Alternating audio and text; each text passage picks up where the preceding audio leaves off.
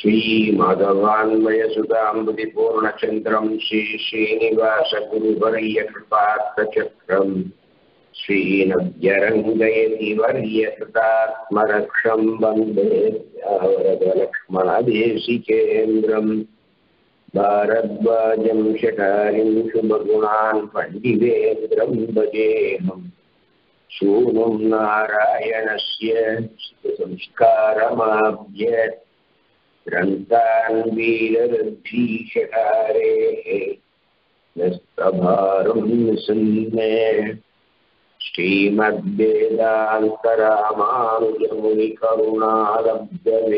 श्रीमद्वेदान्तरामानुजमुनिकरुणालब्धवेदान्तयुग्मम्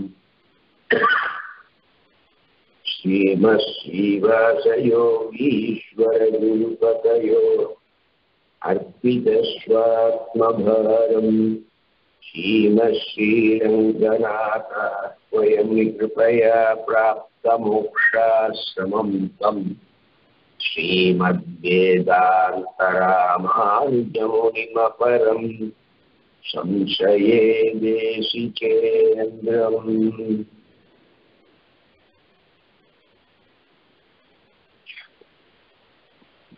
रामानुजदया पात्रं ज्ञानवैराग्यभूषणम् श्रीमद्वेङ्कटनाथार्यं वन्दे वेदान्तदेशिकम्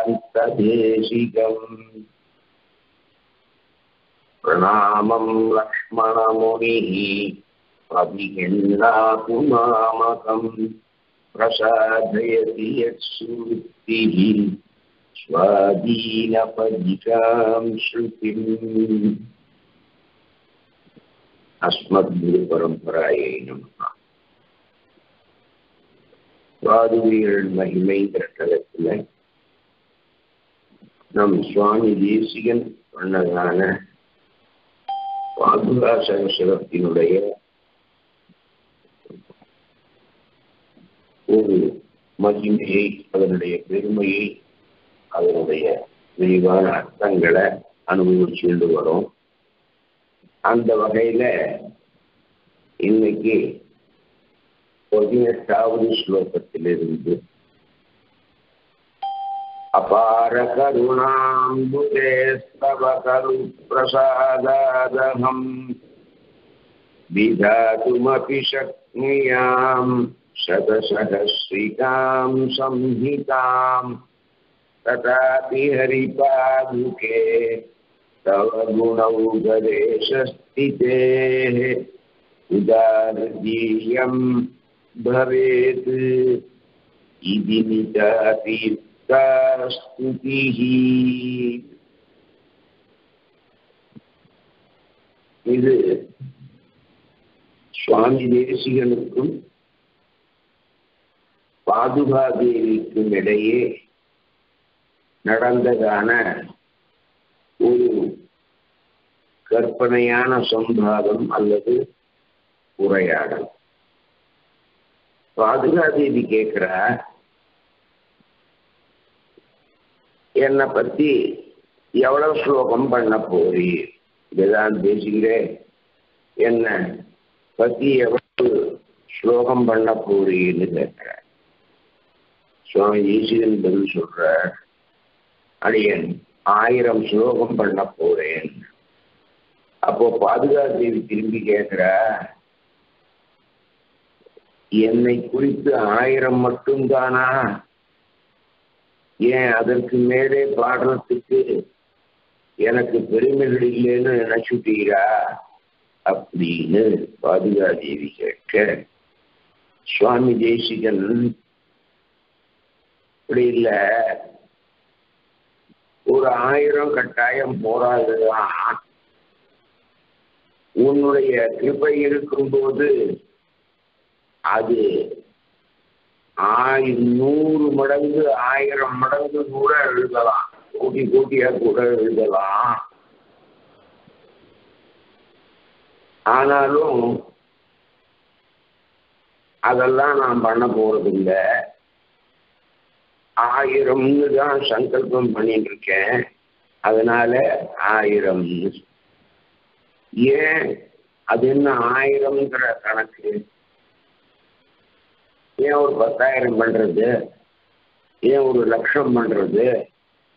எதற்காக ஆயிரம்னு வச்சிருக்கேன் அப்படின்னு பாதுகாதேவி சுவாமி தேசிகனை கேட்க சொல்ற?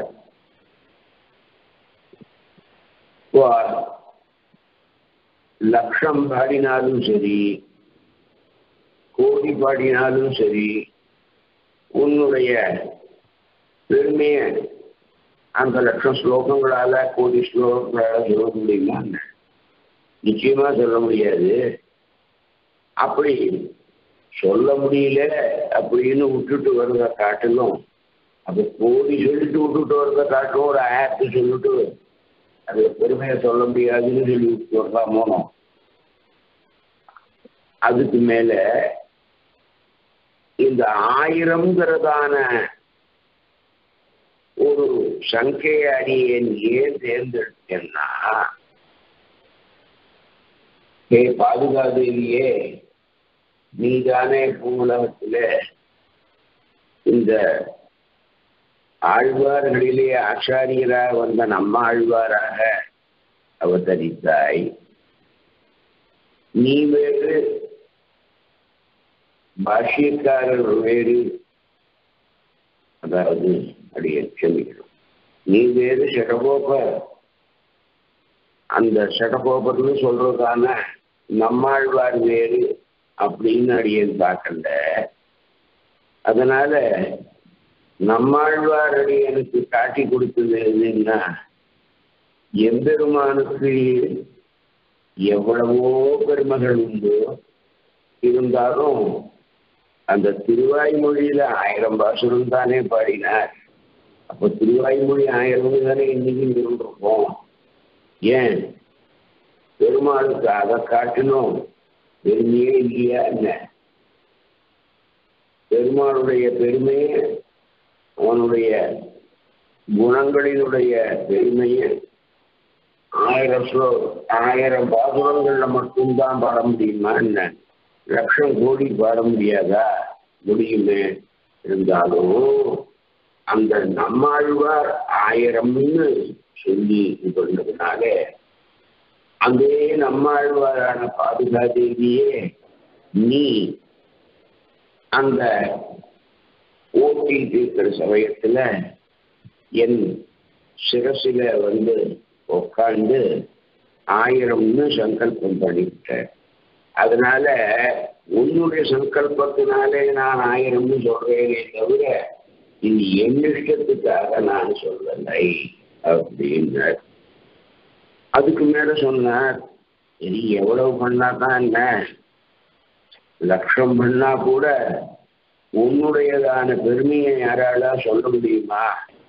உனக்கு கல்யாண குண கூட்டங்கள் மேல மேல ஆர்ப்பரிச்சுட்டு வருந்துட்டே இருக்குமே.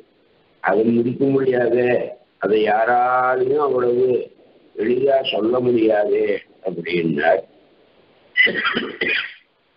சரி பாதுகாதின்னு சொன்னா அப்ப ஆயிரம்னு தீர்மானம் பண்ணிட்டு ஆமா ஆயிரம் தான் பாட போறேன் அடியேன். சரி. நீர் ஆயிரத்தை பாடும். அடியேன் கேட்கிறேன். சுவாமி தேசியன் சொன்னார் அன்னைக்கு பெருமாளுடைய திருமணம்.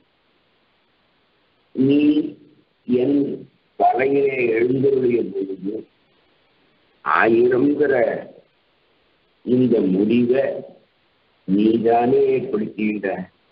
இப்போ அடியேன்ட்ட வந்து ஏன் கேட்கிறேன்? அதனால இந்த ஆயிரமே ஒரு உதாரணமா இருக்கட்டும். அது போதும்னு சுவாமி தேசியன் சாதிக்க. சரி அப்போ அந்த ஆயிரத்தை பாடு. நான் கேட்கிறேன்னு பாதுகாதேவி சொல்றதாக ஒரு கற்பனையான உரையாடல் இந்த முதல் பத்ததி பதினெட்டாவது ஸ்லோகத்துக்கு நம் பூர்வர்கள் சொல்றார். அதற்கு மேலே பத்தொன்பதாவது ஸ்லோகம். அனுகிருத நிஜநாதாம் சூக்திமாபாதயந்தி மனசி வசசித்வம் சாவதானா மமஸ்யாஹ நிசமயதி யதாசௌ நித்ரயா தூரமுக்தः परिषदि सह लक्ष्म्या पादुके रङ्गनाथः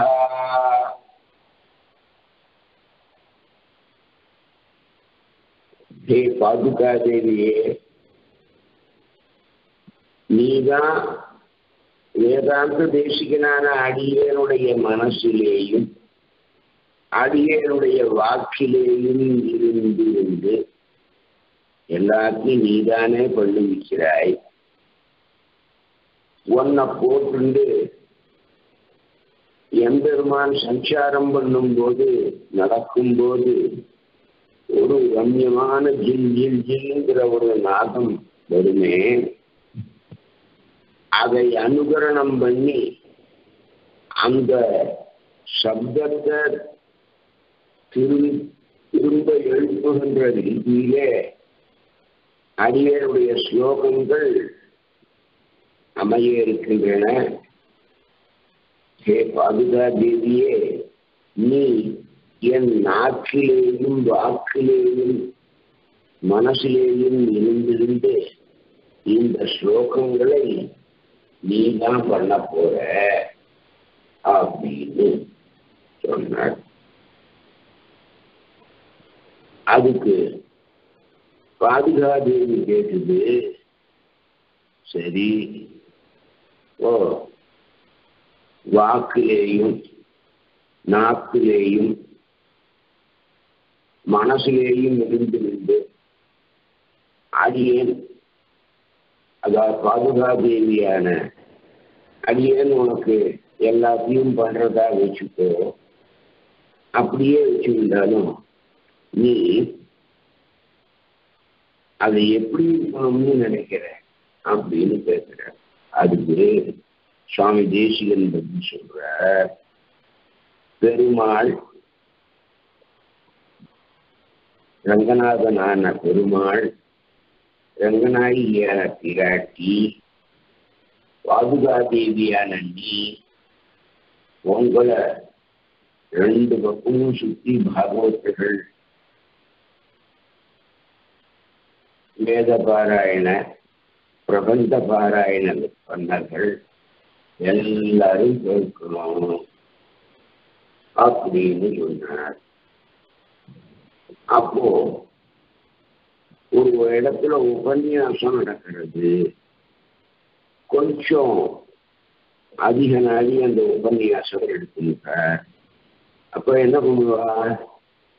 நிறைய பேர் தூங்கி வழிவா அது அடியன் பாதுகாசனத்தை வாடும்போது கேட்பவர்களுக்கு ஏற்படக்கூடாது. நான் ஸ்லோகங்களை கவனம் பண்ணி சமர்ப்பிக்கும் போது இந்த பாதுகா சகசிரம் என்னாலே பாடப்படும் போது எம்பெருமான் தூங்கக்கூடாது. மற்ற யாரும் தூங்கக்கூடாது. மகாலட்சுமியோடு கூட எம்பெருமான் எழுதி எழுந்திருக்கிறதா அந்த சன்னிவேசத்துல அதை எல்லாரும் கேட்டு நல்லா ரசிக்கும்படியாக இருக்க வேணும். அது நீயும் அடியனுக்கு அனுகிரகிக்க பெருமாள் பிராட்டியிட சொல்லி அவளும் அடியனை அனுகிரகம் பண்ண வேணுமாக நீயே சொல்ல போகணும்னு சொல்லி இங்கே பிரார்த்தனை.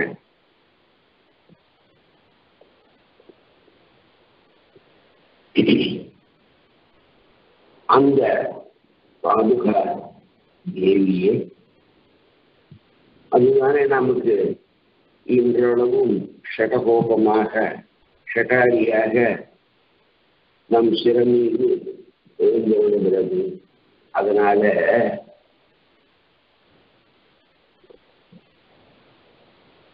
திருவாய்மொழி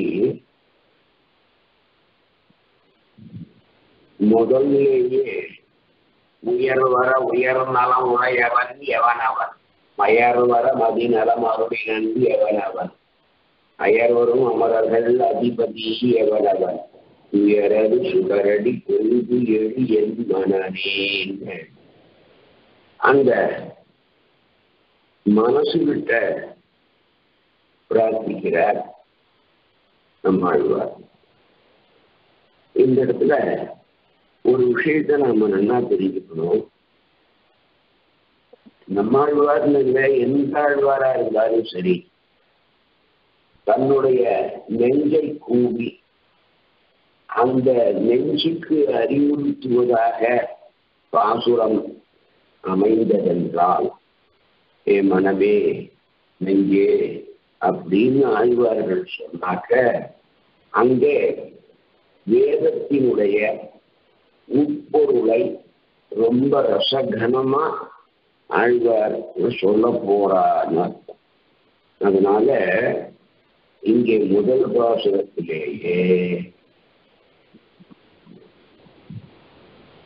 தொழுது எழு என் மனனே மனசை கூட்டு நீ அப்படிப்பட்ட அந்த எம்பெருமானுடைய திருவடிகளை தொழுது எழுதி. இதுல சுடர் அடின்னு சொல்ற இடம் பாருங்க.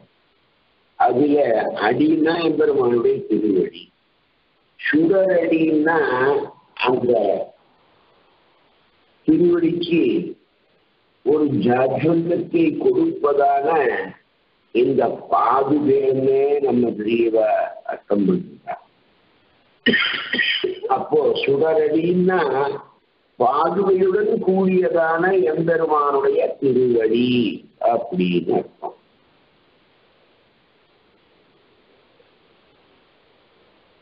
கொஞ்சம் கூட வருத்தமே இல்லாததான ஒரு வசந்த கல்யாண குணங்களை கொண்டவன் யாருன்னு ஒரு கேள்வி கேட்டு அது அவன் ஒரு பதில சொன்னார். அதுக்கப்புறம் அந்த அயர்வே இல்லாததான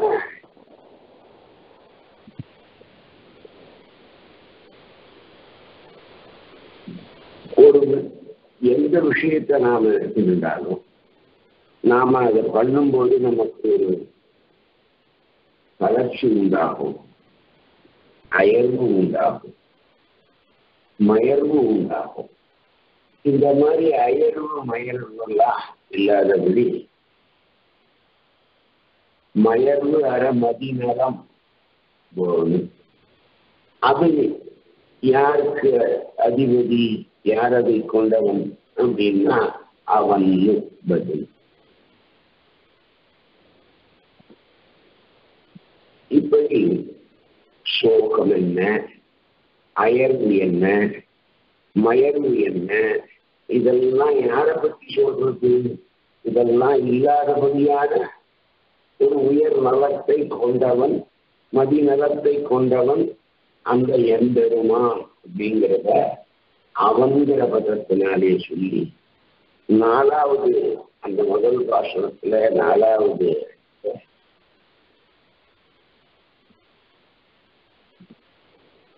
சுடரடி தொழுது எழுதி என் மனநேன்னு அந்த மனசு சொன்னாரே. அந்த மனசு நம்மாழ்வார திருப்பி கேட்டது. ஒரு நம்மாழ்வார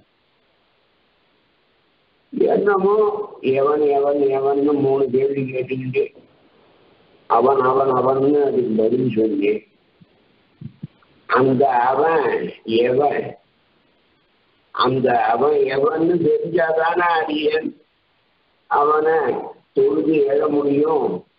இப்படி பூடகமா சொல்லிருந்தா அடியன் ஒண்ணுமே புரியலையே. அவன் யாரு?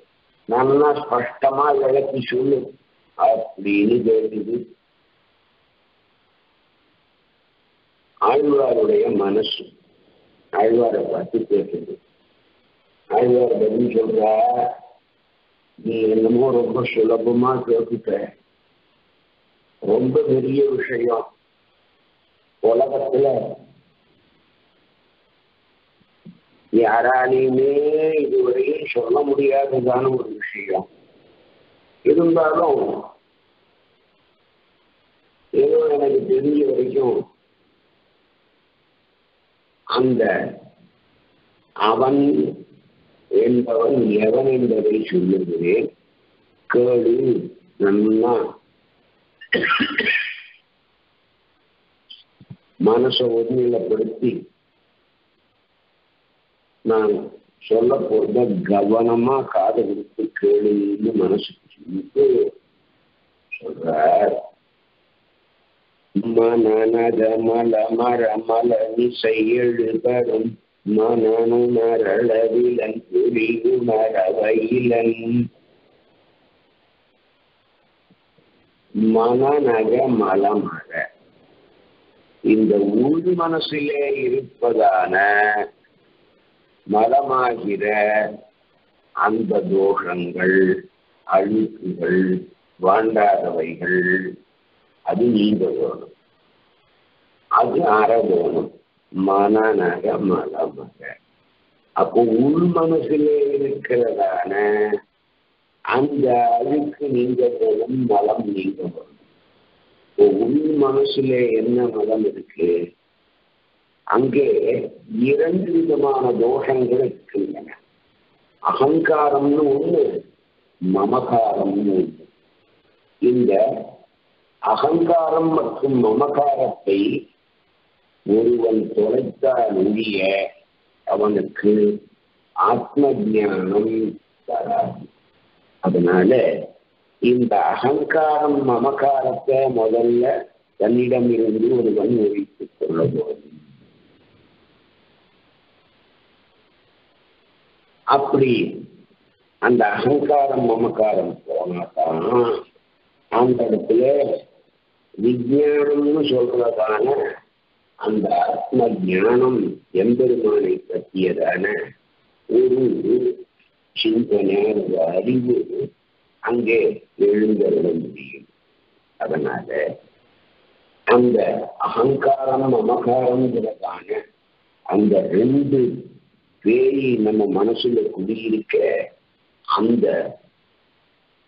பேய பிடிச்சு வெளியில தள்ளணும். அப்படி தள்ளினால் ஒழிய நமக்கு அந்த ஆத்ம ஞானமானது வராது. நம்மளுடைய மனசுன்றது என்ன? ஒரு இடம் தானே. அத ஒரு வீடு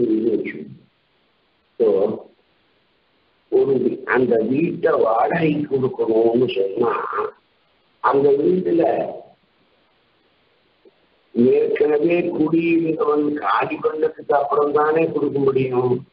இப்போ நம்ம மனசுல இந்த அகங்காரம் மமகாரம்ங்கிறதான ரெண்டு பேர் குடியிருக்கா இவாள காலி பண்ணா தானே புதுசா வரவா வர முடியும். அதனால இந்த அகங்கார மமக்காரத்தை நாம் நம் மனதிலிருந்து ஒழிக்கிற பரியந்தம் நமக்கு ஆத்ம ஞானம் ஏற்படாது. அந்த விஞ்ஞானமானது ஏற்படாது. அதனால்தான் அது மலர் மிசை என்று சரி. அந்த எம்பெருமான் யாருன்னு கேட்கையே சொல்றேன். நல்லா காதலித்து கேளுன்னு சொல்லிட்டு மானாக மல மர மரமி செயழுக மனமுணரவிலன் புரிவுணரவையிலன் மனான் உணர்வு அளவு இளன் அவன் மனசாலே நாம் இத்தகையவன் அப்படின்னு நினைச்சு கூட பார்க்க முடியாததான நிலைமையிலே இல்லாதவன். அப்போ மனத்தாலே அறியப்படாதவன் அப்படின்னு எழுத சொல்ற. அப்போ மனசு நினைக்கிறது சரி பகவான் இத்தகையவன் சொல்ல போறா அப்படின்னு ரொம்ப காலை தீட்டிக்கிட்டு பேசிட்டு இருந்ததோனோ அது என்னடா இந்த ஆழ்வார் ஏதோ சொல்லிட்டு கடைசியில இந்த அலங்கிருத்திய சிறச்சேதம்னு சொல்லுவாளே அத அலங்காரம் பண்ணி தலையை வெட்டுறது. இந்த துர்தேவதைகளுக்கெல்லாம் பலி கொடுக்கிற மிருகங்களை அதாவது இந்த ஆடு கோழி இப்படி இருக்குமே என்ன பண்ணுவான் நாட்டுக்கு மாலையை போட்டு அது நன்னா பார்த்தால எழுந்து நன்னா குளிப்பாட்டி அதை அந்த கோவிலுக்கு கொண்டு வந்து அதுக்கு மாலை என்ன சந்தனம் என்ன குங்குமம் என்னன்னா போட்டு வச்சு அதுக்கு சூட சாம்பிராணி எல்லாம் காட்டி எல்லாம் பண்ணி அந்த குருதேவர கோயில பிரதட்சணம் பண்ண வச்சு கடைசியில வெளிப்பீட்டில் வச்சு ஒரே வெட்டா கழுத்து வச்சு சாப்பிடுவோம். அந்த மாதிரி இங்கே அலங்கரிக்க சிரச்சேதம். ஆஹா. அது சொல்லக்கூடாதுன்னா மானா நகமல மரமல மிசை எழுதரும் மானா உணரடாது இளன் இளன்னு சொன்ன உடனே சக்குனு எடுத்து மனசு இத்தகையவன் இல்லை அப்படின்னு அப்போ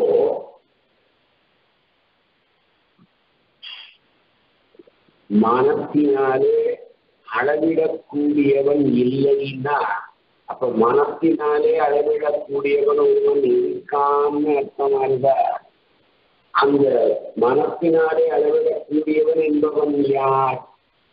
அவன் ஜீவாத்மா அல்லது சேதனம் அல்லது சித்துன்னு சொல்றோமே அது. அது ஒவ்வொரு ஜீவாத்மாவுக்கும் தன்னைத்தானே அறிகின்றதான அந்த அகமத்த ஞானம் இருந்து கொண்டே இருக்கும். அகம் அகம் அகம் தோணிகின்றே இருக்கும் அந்த அகமத்த ஞானம் இருக்கிறதுனால நாம நாம் எப்போதும் இருக்கோங்கிறதாக உணர முடியும். இப்போ ராத்திரி இந்த கரண்ட் போர்டுக்கு லைட் இல்லை. கையில டார்ச் வச்சிருப்போம். இல்லை சொல்லி வச்சிருப்போம். அதை அதில் டார்ச் ஆன் பண்ணி பார்த்தோம் வெளியில வந்து எங்க சோஃபா இருக்கு எங்க சேர் இருக்கு எங்க கட்டில் இருக்கு இடிச்சுட போறோம். யாராவது ஒருத்தர் தன் மேல டார்ச் அடிச்சுட்டு தான் இருக்கேனா இல்லையான்னு பாக்குறானோ யாரும் பார்க்கறது இல்லை ஏன்? அந்த மிருட்டிலே கூட அவன் இருப்பதை அவன் சதா சர்வதா உணர்வதாலே அதுக்கு தான் இருப்பதை உணர்வதற்கு எந்த சம்யோகமோ அல்லது அந்த இந்திரியங்களுடைய இதுவோ தேவையில்லை. ஏன்னா அது அகமத்த ஞானம் தனக்குத்தானே ஆத்மாவுக்கு எப்போதும் தோன்றிக் கொண்டே இருப்பதாலே தான் இருப்பதை தான் எப்போதும் ஜீவாத்மாவானவன் அறிகிறான். இதுதான் மன அளவு உடையவன் இந்த ஜீவாத்மா.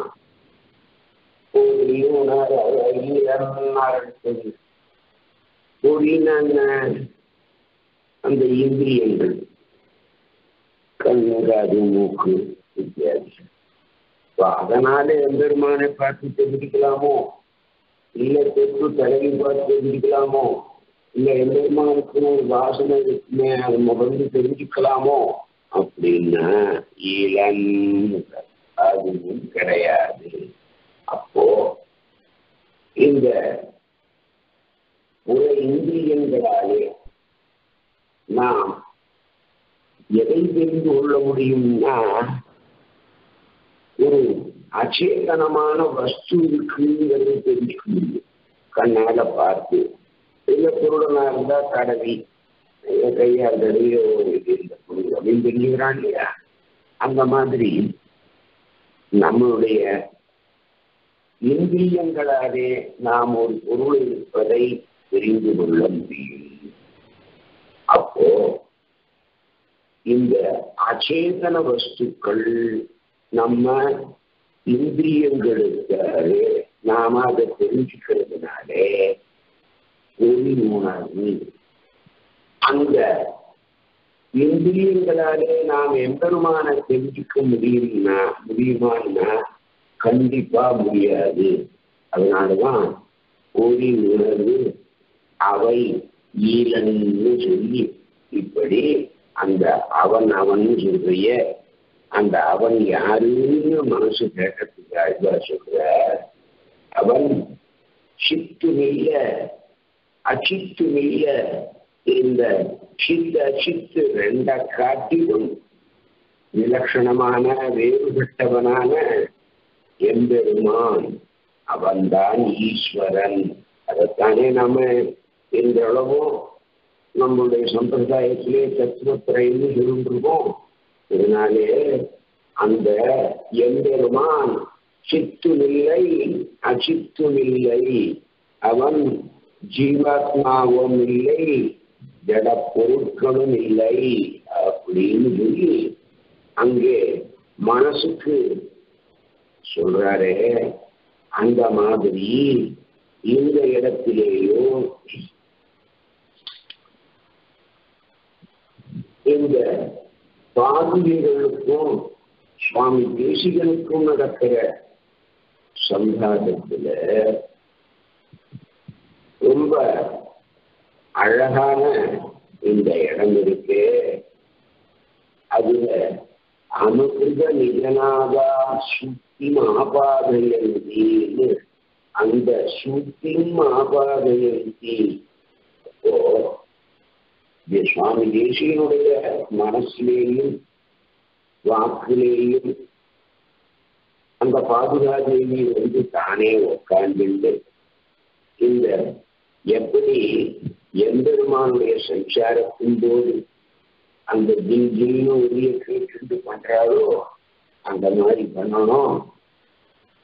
அது மட்டும் இல்ல தான் பாதுகாசம் சொல்லும் போது பெருமாள் பிராட்டி அந்த கோஷ்டி பாகவத கோஷ்டி சமத்தியா வந்து எல்லாரும் கேட்கணும் ஒருத்தரும் தூங்கி வழியாமல் இருப்பதற்காக இந்த பாதுகைகள் அனுகிரகிக்க வேணும்னு ஒரு பிரார்த்தனையை இந்த பத்தொன்பதாவது ஸ்லோகத்துல சொன்ன பிற்பாடு இந்த பிரஸ்தாப பந்தத்தினுடைய கடைசி ஸ்லோகமான பதரக்ஷிணி भवति रङ्गनाथपदे तदुपरि कृता सपर्या नमतामिव नादिनां शिरसि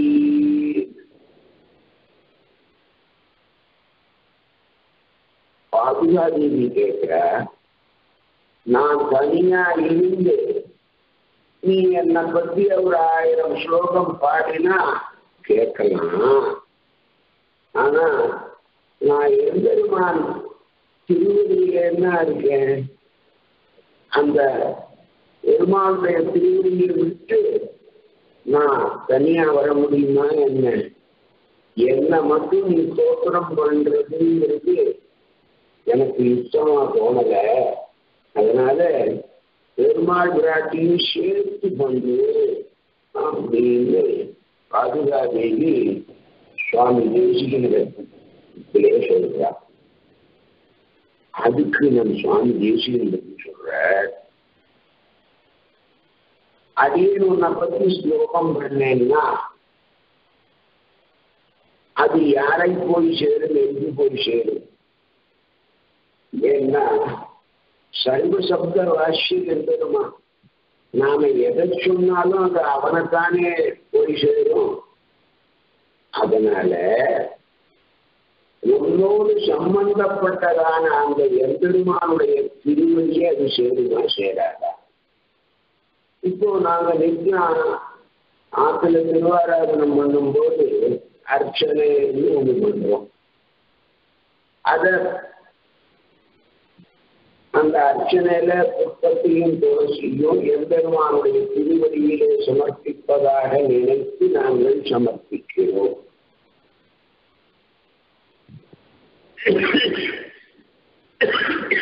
அத பாதிக்கு என்ன எம்பெருமானுடைய திருவடி இங்கே பாதுகை அப்ப அந்த பாதுகையில் தான் நாங்க சமர்ப்பிக்கிறோம். அப்போ அந்த பாதுகையில சமர்ப்பிக்கிறதான அர்ச்சனையானது அது எம்பெருமானுக்கு பண்ண அர்ச்சனையாக ஆறதா இல்லையா? அதே மாதிரி ஒன்னு ஆயிரம் சோமாடியன் பாடினேன்னா அது எம்பெருமானை பாடியதாகத்தானே ஆகும். ஒரு சமயம் மகாபாரத யுத்தத்தின் போது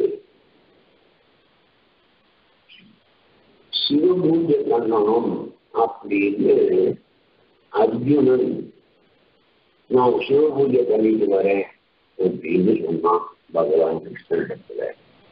ஒன்றும் டைம் கிடையாது. அதுக்கெல்லாம் இது பண்ண போகணும் ஒரு சிவனுக்கு தானே பூஜை பண்ணணும்? சரி.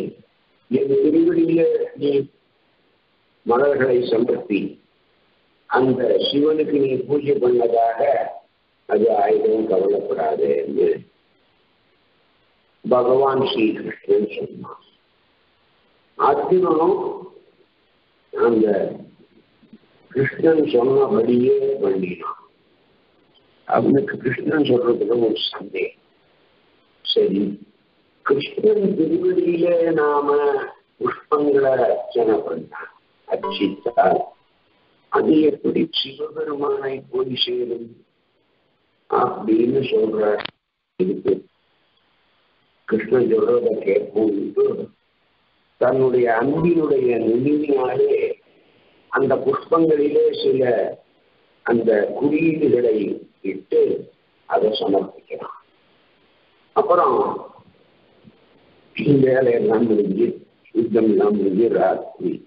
அந்த இது போறான்? மறுநாள் காத்தால யுத்தத்துக்கு வரத்துக்கு முன்னால சிவ பூஜை பண்ணுவான் அப்போ அந்த சிவபூஜை பண்ணணும்னு தெரிஞ்சு பார்த்தாக்க இவன் நேற்று அன்பினாலே என்னென்ன குறியீடுகளை இட்டு சமர்ப்பித்திருந்தாலும் அத்தனை புஷ்பங்களும் அந்த ருத்ரமூர்த்தியான சிவபெருமானுடைய அவனுடைய திருமுடியிலே தலையிலே அலங்காரமா வீற்றிருக்கிறான் இவன் பண்ணதான அர்ஜுனன் பண்ணதான அர்ச்சனன்.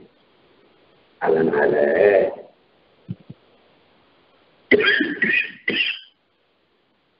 எப்படி கண்ணன் திருவடியிலே அர்ஜுனன் பண்ண அர்ச்சனையானது எம்பெருமான் திருமுடியிலே அதாவது சிவபெருமானுடைய திருமுடியிலே சென்றடைந்ததோ அந்த மாதிரி உண்மையில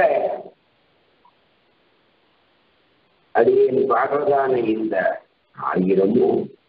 அது எம்பெருமானுடைய சிவசுபதியத்தும் போய் சேருங்கிறதுல எந்த விதமான சந்தேகமும் அடியேனுக்கு இல்லை.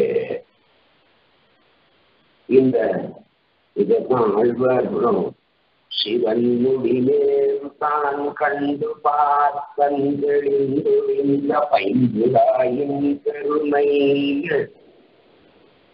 மொழி இரண்டாம் பத்திலேயே அதி அற்புதமா நம்ம சாதிக்கிறார் இன்னொரு விதத்துல பார்த்தா எம்பெருமானுக்கு பண்றதான அர்ச்சனை ஸ்தோத்திராதிகள் பக்தனுக்கும் போயும் சேரும் அதனால பாதுகை என்பது அடியனுடைய ஆச்சாரியனை போலே அந்த ஆச்சாரியனுக்கு அடிய அர்ச்சனை பண்ணினால் அது பெருமாளுக்கு போய் சேருங்கிறதுல அடியனுக்கு எந்த விதமான சந்தேகமும் இல்லை.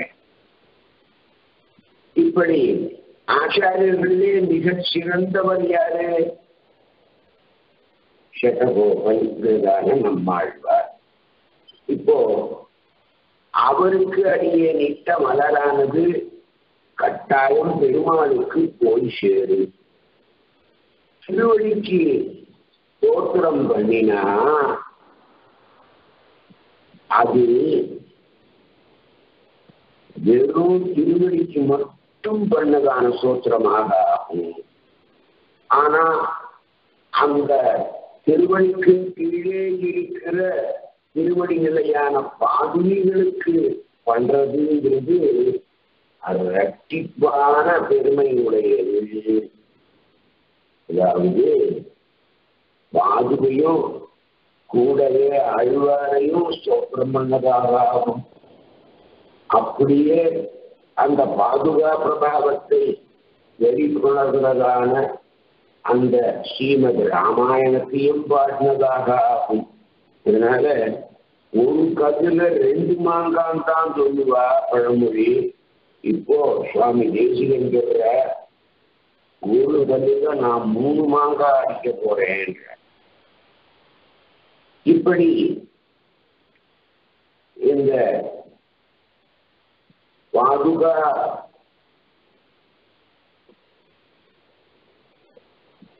சங்காத ரூபமாக சுவாமி தேசிகனிடத்திலே இந்த பதினேழு பதினெட்டு பத்தொன்பது இருபதுங்கிறதான இந்த பிரஸ்தாவ பத்திரிகையுடைய நான்கு ஸ்லோகங்களும் இருந்தது இதோட இந்த பிரஸ்தாவ பத்திரிகையை நிறைவு செய்து இந்த முதல் பத்திரியான பிரஸ்தாவ பத்திரிகை தரக்கற்றார் நம் ஆச்சாரிய வள்ளல் தீர்ப்பு ஸ்ரீ நிகமாந்த மகாதீஸ்வர் இதுல இந்த பிரஸ்தாவ எப்படி ஒரு அமைஞ்சிருக்குன்றத நம்ம நிறைவா ரொம்ப அழகாக சொல்லிருக்கார் முதல்ல பாகவதால ஸ்தோத்திரம் பண்ற சந்தகான ஆரம்பிச்சு முதல் நான்கு ஸ்லோகங்களாலே அந்த பாகவதோத்தமர்களை அந்த சீரிய